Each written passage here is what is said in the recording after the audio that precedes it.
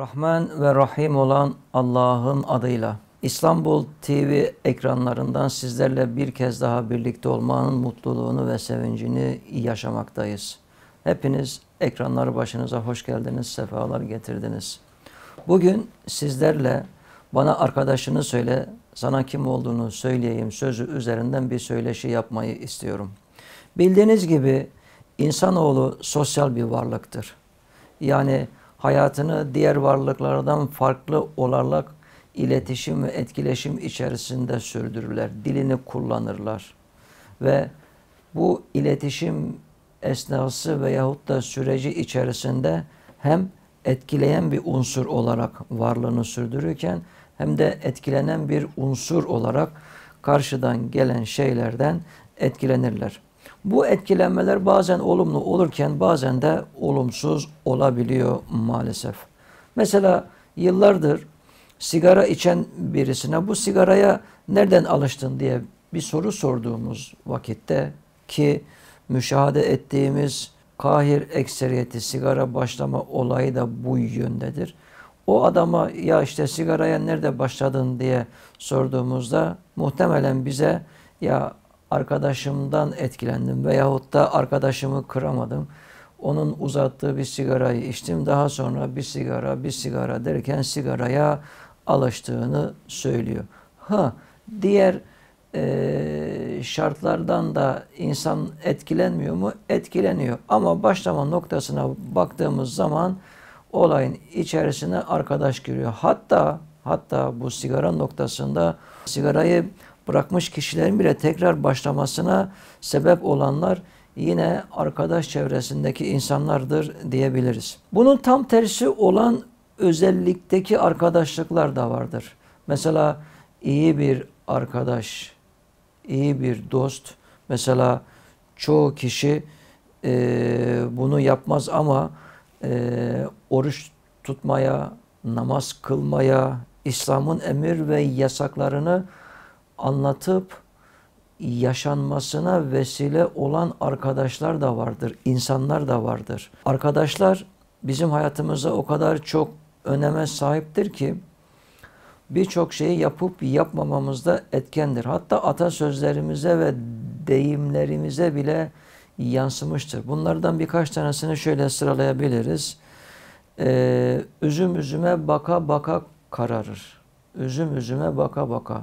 Yani birlikte olduğunuz, sürekli vaktinizi birlikte geçirdiğiniz insanlara baka baka o karşıdaki insanın huyundan, suyundan etkilenebiliyorsun veyahut da sen onu etkileyebiliyorsun.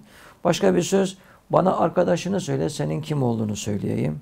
Veyahut da körle yatan şaşı kalkar. Veyahut da kır atın yanında kalan, yanında duran ya huyundan ya da suyundan diye bu tip atasözlerimiz ve deyimlerimiz vardır. Bizler birer ebeveyn olarak üzerimize düşen şey şu noktayı iyi öğrenerek, iyi anlamış olarak çocuklarımıza yaklaşmaktır. İyi bir arkadaş sen kötü bir şey yaptığın zaman seni iyi bir şeye çağırandır. Kötü bir arkadaş da sen iyi bir şey yaptığın vakitte seni kötüye çağırandır. Bizler bu düsturu çocuklarımıza vermeliyiz. Veyahut da herhangi bir okulda öğretmen isek, eğitmen isek bizlere emanet eden çocuklarımıza karşı bu kaideyi, bu usulü söylememiz lazımdır arkadaşlar. Şimdi kötü arkadaşın kişiye etkisi neler olabilir diyoruz. Birincisi hem ailesine hem de çevresine karşı davranışlarında çok kötü sapmalara sebep olabilirler.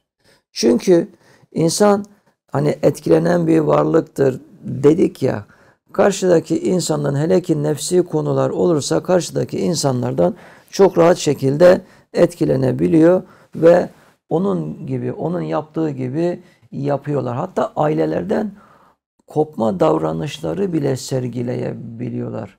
Bugün kendisine çok e, yakın, çok e, candan çok dost diye, dost diye bilmiş olduğu kişileri kendisine örnek alan gençler onlar gibi yaşamayı istiyorlar. Hani bundan önceki vakitlerde söylemiştik özgürlüğün yanlış kullanılmasından ötürü bazı sıkıntılarımız çıkmıştır diye. Aile her ne kadar gençlere iyi şekilde yaklaşmış olsalar bile arkadaşların, kötü arkadaşların da etkisiyle bazı güncel kavramları da kötü anlayarak, asıl manasının dışında anlayarak ve onunla e, ilgili olumsuz tavırlar sergileyerekten çevresiyle, ailesiyle e, ayrı düşebiliyor. Hatta ailesinden ayrı e, kopabiliyor. Bazı zamanlarda da kötü arkadaş bir bireyde çok fazla psikolojik yıkıma yol açabiliyor. Psikolojikmen insanların birbirini e, etkileme ihtimali de çok büyük. Bugün e, bulunmuş olduğumuz bir ortamda herhangi bir konu, konuda sohbet ettiğimiz vakitte sürekli olaylara negatif yaklaşan insanları bir süre sonra eğer biz pozitif birisiysek veya o olaydan nötr kalmışsak sürekli negatif sözler söyleyen, davranış sergileyen insanlardan sıkılırız. sıkılırız. Hadi o negatif davranış sergileyen, sergileyen kişilerin davranışından etkileyen veyahut da onların fikirlerinden etkileyen, yaptıklarından e, etkilenen insanları bir düşünün. Onların durumu çok işler acısı bir durumdur diyebiliriz. Çünkü onlar e, sahip olduğumuz iyi olan değer yargılarının bile e, tabiri caiz ise katili olabiliyorlar. Bizi biz yapan, halkımızı bir arada tutan, aile mefhumunun e, ehemmiyetini e, bilen bir toplumun ne, negatif insanların yaklaşımıyla birlikte ortadan kalktığını rastlayabiliyoruz. Peki yanlış arkadaşlar edinmede sosyalleşebilen ve özgüveni yüksek bireyler yetiştirmek için bizler ne yapmalıyız? Yani arkadaşından kötü şekilde etkilenmeyecek. Sosyalleşme dediğimiz toplumun kültürünü özümseyecek ve kişiliğini, karakterini oluşturan tam anlamıyla insan gibi insana yakışan şekilde bir kimliğe bürünen bir insanın olabilmesi için başta e ebeveynler olarak bizim neler yapmamız lazım? Biraz onlara değinmek istiyorum izninizle. Öncelikle ebeveynlerin anne ile babanın kendi çocuklarıyla etkileşimi, iletişimi çok önemlidir. İletişimin en önemli unsuru dildir. Dilimizi kullanırken karşıdaki çocuğumuzun velev ki karşıdaki çocuğumuz ilkokul çocuğu veyahut da anaokulu veyahut da gitmiyor. Sonuçta bir ferttir. Konuşuyor, söylenilen, söylenilen şeyleri anlıyorsa o çocuğa karşı, o kişiye karşı söylemlerimizle kendisine kıymet verdiğimizi, kendisinin dinlendiğini, kendisinin anlaşıldığını e, hissetmesiyle onunla ilgilenmeye başlamalıyız. Çünkü her insan kıymet gördüğü yerde davranışlarına biraz daha dikkat eder. Sıcak ilişkilerin, samimi ilişkilerin, riyadan uzak olan ilişkilerin varlığıyla hayatını sürdüren bireyler her alanda başarıya rahatça ulaşabilirler. Gerek ailesinin içerisinde gerekse okul içerisinde veyahut da arkadaş grubu içerisinde veyahut da okumuyorsa diyelim ki bir iş yerinde işçidir, emekçidir. Orada değer verilerek bir ilişki içerisine giriyorsa, kıymetli ise, kendisinin kıymetli olduğu hissediliyorsa o çocuğun, o bireyin orada sağlayacağı ilişkiler güçlü olmaktadır. Bunun kontrolünü sağlamak için yani çocuğumuzun iyi arkadaşlarla vakit geçirip geçirmediğini e, anlayabilmek için, onu korumak için, onu kontrol edebilmek için ilk başta arkadaşlarına müdahale etmemeliyiz. Bir uzaktan izleyelim bakalım bu kiminle konuşuyor. Kiminle hemhal oluyor. Sınıfından mı? Başka sınıftan mı? Okulundan mı? Başka okuldan mı? Hoş teknoloji çağında yaşıyoruz ve bu teknoloji çağında aslında insanları kötülüğe götüren yolların sayısı o kadar çok fazla ki adeta 10 gidiş 10 geliş otoban mahiyetinde yollar vardır. Çünkü bizler özellikle kaş yapayım derken göz çıkarma noktasında oğlumuzun kızımızın iyiliğini isterken aman iyi e, iyi kimselerle arkadaş olsun onları koruma içgüdüsüyle yaptığı her şeye müdahale edersek bunun tam tersi de olabilir. Onu kaybedebiliriz de e, onunla bizde çok büyük zıtlaşmaları yaşayabiliriz. Alacağımız önlemlerden bir tanesi de çocuğumuzun seçtiği arkadaşların ailesiyle tanışmalıyız. Çocuğun anne babasıyla tanışmalıyız. Ailesinden müsaade ederek çocuğu evimize çağırabiliriz. Hareketlerini gözlemleyebiliriz.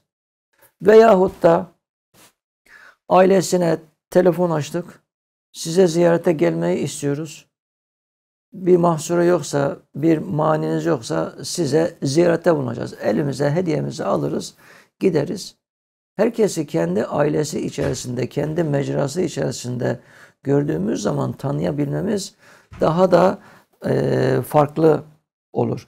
Yoksa çocuğunuzu sürekli arkadaşından uzaklaştırma yoluna gittiğiniz vakitte bunun ters tepme olayı veyahut da ihtimali çok daha fazladır diyebiliriz. Peki çocuğumuza telkinde bulunacağız. Yani klasik bir söylemle oğlum bak arkadaş seçimine dikkat et ha. Bak arkadaşını iyi seç ha. Bak seni arkadaş vezir de eder, seni rezil de eder. Bunlar klasik söylemlerdir. Her anne babanın veyahut da biz eğitimcilerin öğrencilere karşı, gençlere karşı söylemiş olduğu şeylerdir. Fakat bazı e, konulara bizlerin çok dikkat etmesi lazım. Örneğin olumsuz arkadaşların edinebilme oranının yüksek olduğu çevrelere gitmemeliyiz ve oradaki bulunan e, eğitim veyahut da kültürel faaliyetlerin yapıldığı yerlere çocuğumuza güzel bir dille anlatıp onun oralara gitmesine izin vermemeliyiz. Aynı zamanda anlatmalıyız. Arkadaş seçimi konusunda asla baskıcı bir tavır sergilemememiz lazım arkadaşlar. Çünkü bizler her ne kadar çocuğu seçmiş olduğu arkadaşından uzaklaştırmaya çalışırsak maalesef ters psikoloji denilen bir şey var. O arkadaşı onun yanında daha da kıymetli bir hale gelir. Diğer bir takınacağımız tavır çocuğumuza karşı göstereceğimiz, söyleyeceğimiz şeylerin bir tanesi de çocuğumuzun arkadaşını sürekli çocuğumuzun yanında kötülememektir. Sürekli kötülüyorsun. Sen arkadaşın böyle, sen arkadaşın şöyle, sen şöyle yaptın, böyle yaptın. Onun şu hatası var, bu hatası var, şuyu var, buyu var. Engellemeye kalktın. Ama senin çocuğun kendi anlayışına göre, fehmine göre ondan öyle bir şey görmedi. Sen o çocuğu eleştirdiğin için senin çocuğun o arkadaşından görüşmeyi kesecek, ondan uzaklaşacak mı sandın? Yapmaz ki öyle bir şey. Kendi çocukluk yıllarımızdan hatırlayarım. Ortaokulla gittiğimiz vakitlerde veyahut da lisenin başlarındayken gittiğimiz vakitlerde aynı sorunları bizler de yaşadık. Geleneksel bir aile yapısı içindeyiz. Ama 2024'ün dünyasındaki yaşanan herhangi bir olay bizim yetiştiğimiz vakitlerdeki 1980'lerdeki, 85'lerdeki, 90'ın başındaki olaylar gibi değil. Her şeyin yeri, yönü çok fazla değişmiştir. Artı eğer çocuğumuza daha doğrusu çocuğumuzun bulunmuş olduğu okul ortamında herhangi bir sıkıntı varsa yine çocuğumuzla konuşarak çocuğumuza yapacağımız en iyi şey okul ortamını değiştirmektir. Ve bunu 26 yıllık meslek hayatımızda defalarca bu olaylara şahit olduk. Çocuk önce gitmekte, gitmemekte ısrarcı. Ben arkadaşlarımı bırakamam, ben arkadaşlarımdan vazgeçemem. Hatta çok değil, bundan üç gün öncesinde yine bulunduğum okulda böyle bir durumla karşılaştık. Velisi gelmişti. Velisiyle ben konuştum. Velisi başka bir okul türüne almayı istiyor. Ben de gence dedim ki oğlum bak babam bu noktada doğru söylüyor. E, tebdili mekanda ferahlık vardır. Belki bulunmuş ortam sana, bulunmuş olduğun ortam sana belki iyi gelmiyordur. Gel istiyorsan okulunu değiştir. Evine yakın aynı zamanda sana bir e, mesleki deneyim kazandıracak bir okula git. Çocuğun söylediği ilk söz.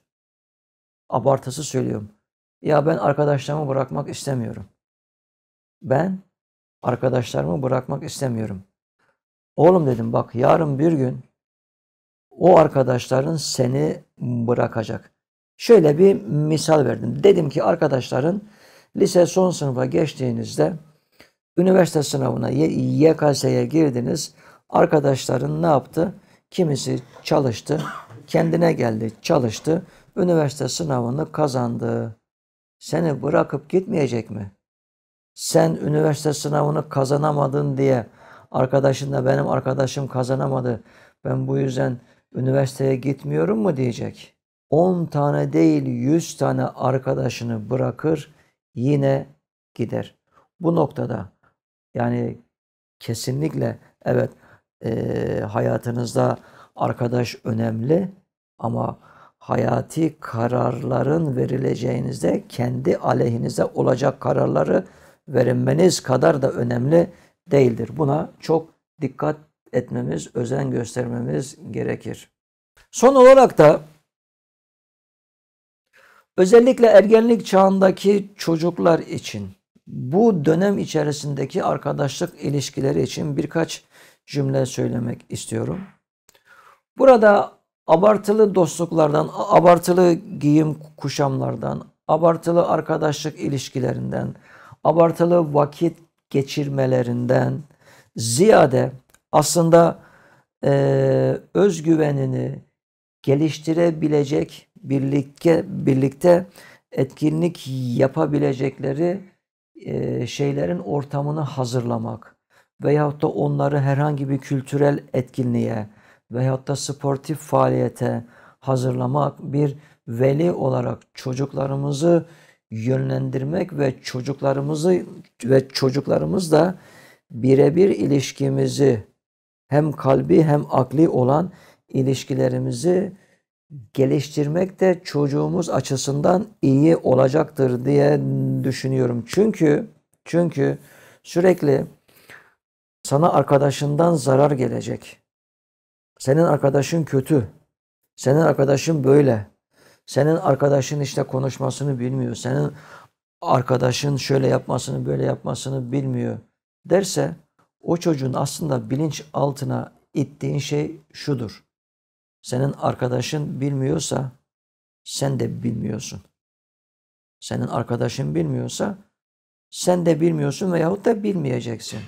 Halbuki sürekli bu noktada bilinçaltına olumsuz mesajlar vermektense olumsuz telkinlerde bulunmak yerine doğru olan bir şekilde yönlendirme yapsanız, niçinleriyle, nasıllarıyla, niyeleriyle en güzel olanı anlatsanız belki de gençlerimiz, çocuklarımız bizi anlayacaktır. Evet, kötü arkadaşımızın olmasını istemeyiz muhakkak kötü bir şey yaptığımız vakitte ya ailemizden görmüşüzdür veyahut da arkadaş çevremizden görmüşüzdür. Burası doğru ama iki çocuğumuzun birbiriyle görüşmesine engel mi oluyoruz yoksa nasihatkar mı oluyoruz?